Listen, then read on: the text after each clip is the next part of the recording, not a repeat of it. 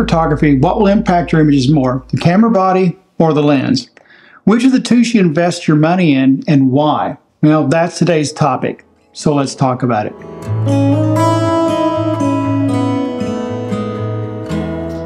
As wildlife photographers, at least this one, we're always striving to get better images.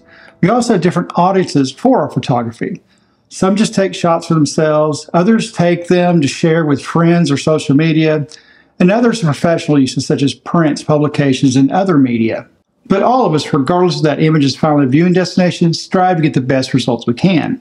And that leads us to understand whether the camera body or the lens makes the bigger impact on our images. Of course, both impact the images, but which will make a bigger impact? And with wildlife photography, nothing is cheap. And the better the gear gets, the higher the price tag gets. So, where do we focus our gear goals and our money?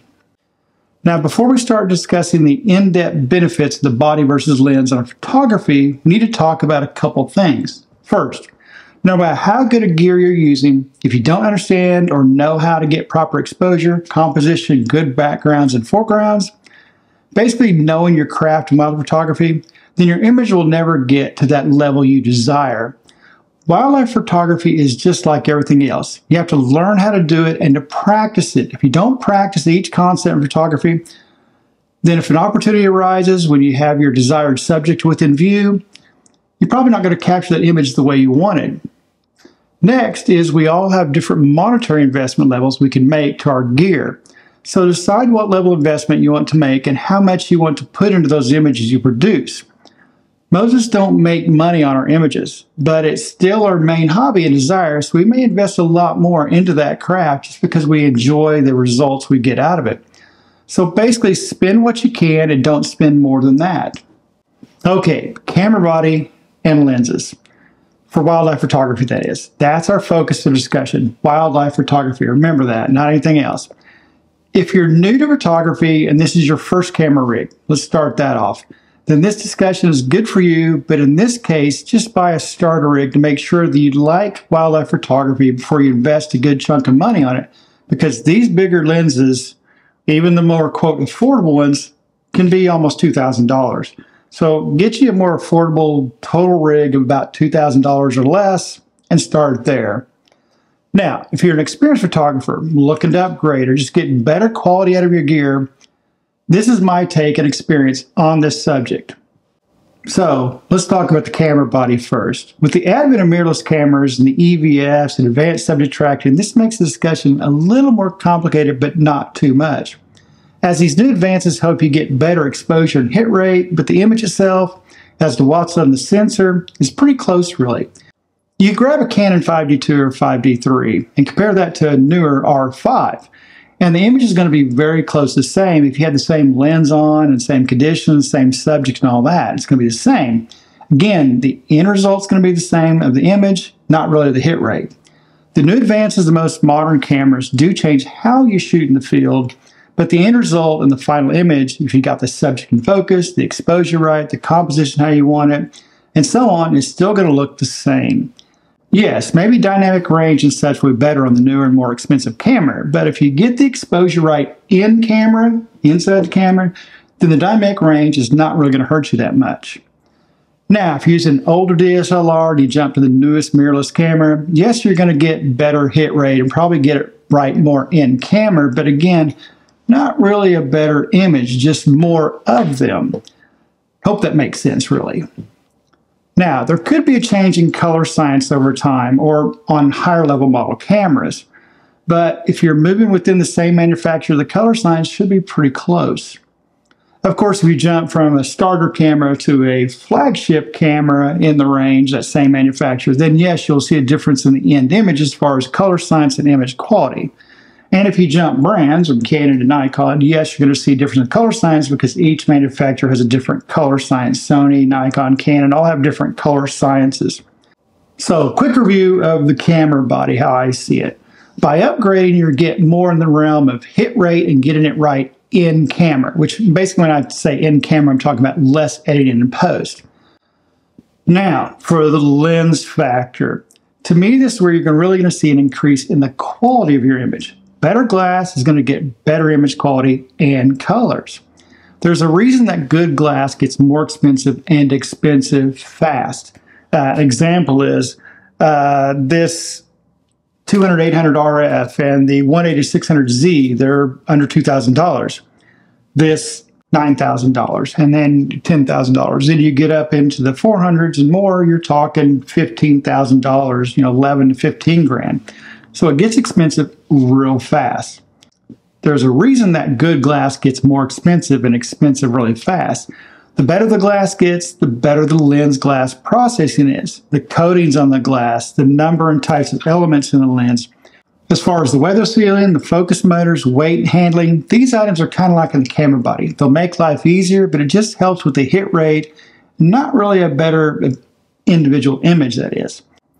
As you get better glass, you usually get faster lenses, which means better light gathering and compression. We're talking going for an f11, f8 to 6.3 to a 5.6 or an f4 2.8. So as you get better glass, you get a faster lens, better light gathering, better compression.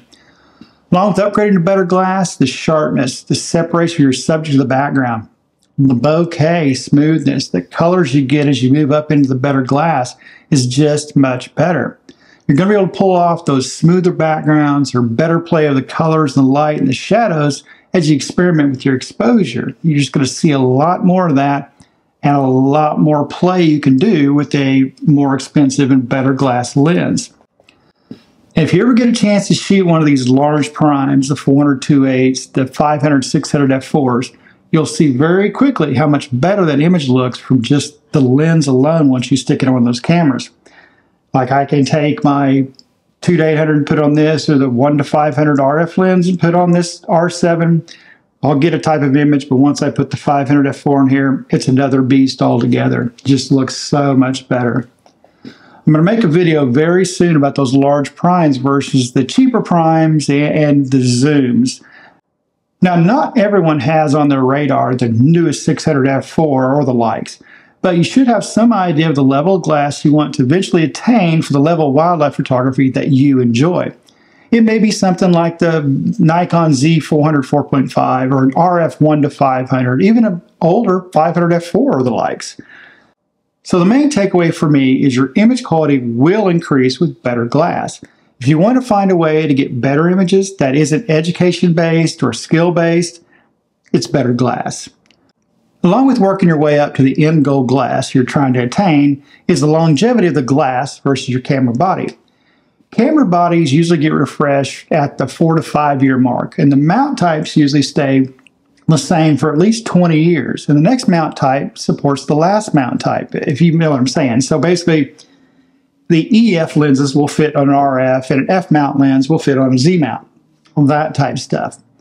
And the lenses, they can go from six to eight years or more between refreshes.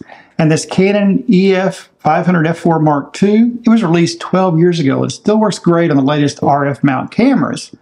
So once you get that end goal lens, it could easily last you 10 to 20 years. And a lot of the times the model refresh lenses don't make a large IQ change but it's usually weight and handling. So it makes the decision on whether to refresh that lens a little easier. If you're only getting a small amount of IQ and a little weight savings, sometimes you may wait or you know save some more money maybe later to switch out to the newest version of that. So there's a Mark III or RF version of this, then maybe I would think about that. Is the IQ better? Those type things.